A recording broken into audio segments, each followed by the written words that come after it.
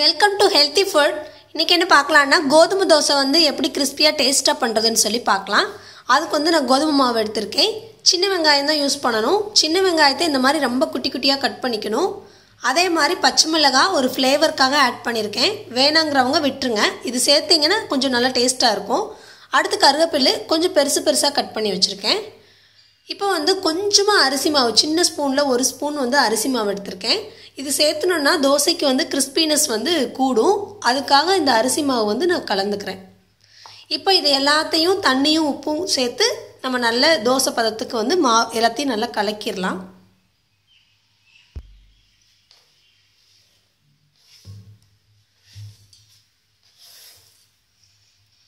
இப்போ உப்பு தண்ணி ரெண்டையும் கலந்து இதை நல்லா கலக்கிடலாம்.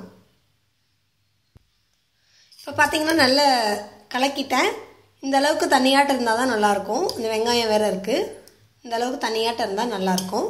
இப்போ வந்து தோசைக்கல்லை வந்து அடுப்பில் வச்சிடலாம். தோசைக்கல் சூடானோடனே இந்த மாவை வந்து தோசை தோசையாக மா எடுத்துடலாம். தோசைக்கல் வந்து காயட்டும். இந்த கோதுமை தோசை சுடுற வரையும் ரொம்ப ஹை ஃப்ளேமில் வச்சு எப்போவுமே சுடக்கூடாது.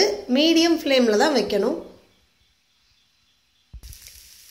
இப்போ எண்ணெய் ஊற்றிட்டேன் இது கொஞ்சம் நேரம் வேகட்டும். சிம்லேயே வச்சு வேறனால சிம்மை விட கொஞ்சம் அதிக ஃப்ளேம் வச்சுருக்கனால கொஞ்சம் வேகிறதுக்கு டைம் ஆகும். கொஞ்சம் வெந்த உடனே திருப்பி போட்டுக்கலாம். இப்போ வந்து ஒன் சைடு வெந்துருச்சு. இதை வந்து திருப்பி போட்டுடலாம். இன்னொரு சைடும் வேகட்டும் நல்லா. அவ்வளோதான் ரெண்டு பக்கம் நல்லா வெந்துருச்சு. இப்போ இதை எடுத்துடலாம். சூப்பரான கோதுமை தோசை வந்து ரெடி ஆகிடுச்சு நீங்கள் இதை கண்டிப்பாக செஞ்சு பாருங்கள் இது நல்லா கிறிஸ்பியாகவும் இருக்கும். ஆனால் சாஃப்டாகவும் இருக்கும் கிறிஸ்பியாகவும் இருக்கும். சூப்பராக இருக்கும். நீங்கள் இதை செஞ்சு பாருங்கள் உங்கள் கமெண்ட்ஸை வந்து ஷேர் பண்ணுங்கள் நீ என்னைக்காவது நீங்கள் வந்து இப்போ சா என்ன சமைச்சு சமைச்சு போர் அடிக்குது ஏதாவது டிஃப்ரெண்ட்டாக சமைக்கலாம். ஆனால் ஃபாஸ்ட்டாக சமைக்கணும் அப்படின்னா இந்த தோசை செய்யலாம். இது ரொம்ப ஈஸி ஆனால் ஒன்றே ஒன்று தோசை சட்டியில் வச்சு எடுக்கையில் மட்டும் மீடியம் ஃப்ளேம் மீடியம் ஃப்ளேம் இல்லை சிம்மில் வச்சு தான் எடுக்கணும். அப்போ தான் இந்த தோசை வந்து நல்லா வரும்.